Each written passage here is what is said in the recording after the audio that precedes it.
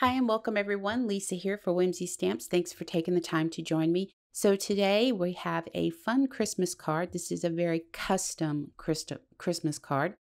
We're going to be using several different products and we'll talk about those as we work our way through the video. But first off, I want to talk about how I created my Christmas tree. Now, I knew I wanted a really big tree because I was going to do a slimline card since I was using three cats on this. And what I decided to do was just kind of sketch me a tree using my Copic markers. And it's really actually very easy.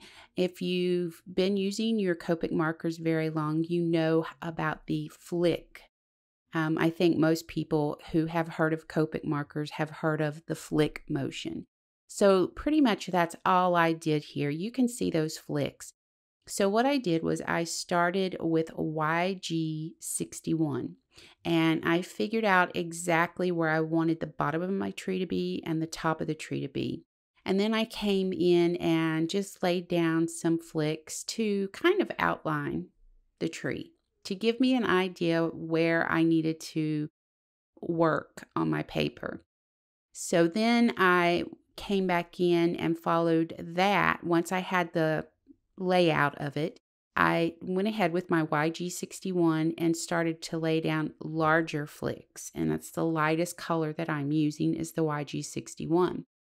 I come in and follow that with YG63. Again, I'm just flicking that marker out towards the to create the edge of the tree. So start in the center and just do a flick outward.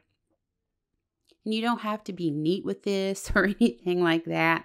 You just keep on create layering your colors and adding those flicks. It's so simple. It truly is simple. Now here's the thing about it. I knew I wasn't going to have a lot of this tree showing, so I'm okay with how it looks. It you can tell there's a Christmas tree behind the cats and it has ornaments hanging on it that's really all we needed was just something to help tell our story on the front of the card. Now I'm coming in with my fine line pens here and I'm adding just some really fine little branches on my tree. And again, I'm doing the same flicking motion to create this. I go up the center and do some sketchy lines and then I flick out from the sides there. And it's your tree. You create it however is easiest for you, but this was so easy for me to do.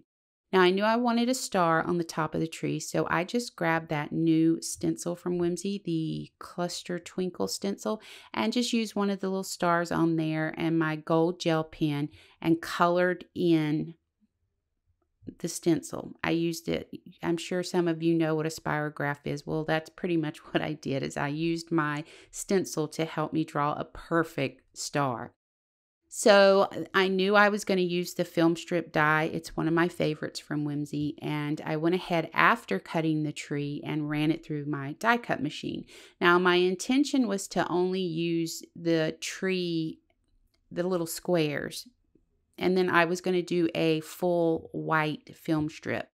But once I ran it through the die cut machine and I started looking at it, I really liked the way that it looked by using the whole tree. So I decided to add mounting foam to the back of the film strip and pop that up off of my card base to create some dimension. Then thought, well, I want to go ahead and add these back in using some glue. So those are glued down to the card base.